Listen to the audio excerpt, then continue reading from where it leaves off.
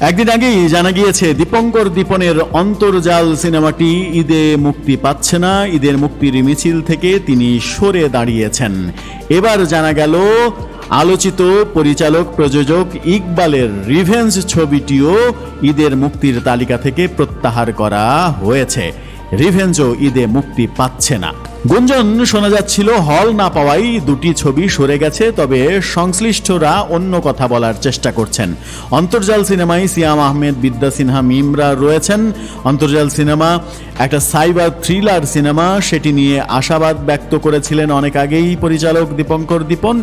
কিন্তু মুক্তি পাচ্ছে না ঈদে, কারণ মুক্তি ঈদে যতগুলো ছবি পাচ্ছে, তার ভিড়ে হল পাওয়া কঠিন হবে এবং ব্যবসায়িকভাবে লসের মুখোমুখি হতে হবে বলেই ঈদের মুক্তির তালিকা থেকে সরিয়ে নেওয়া হয়েছে। আগামী একুশ জুলাই ছবিটি মুক্তি পাবে বলেও জানানো হয়েছে।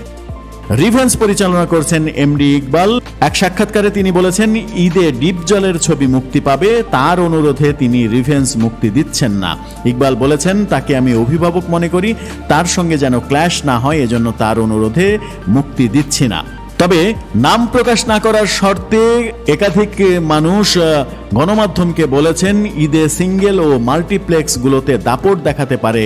শাকিব খানের প্রিয়তমা সেই সঙ্গে আলোচনার সৃষ্টি করতে পারে। নিশোর সুরঙ্গ ছবিটা, মূলত এই দুটো ছবিতেই সিনেমা হল মালিক এবং বুকিং এজেন্টরা বেশি আগ্রহী। সিনেপ্লেক্সগুলোতেও শাকিব নিশোর ছবিগুলো সর্বাধিক শো পাওয়ার কথা শোনা যাচ্ছে।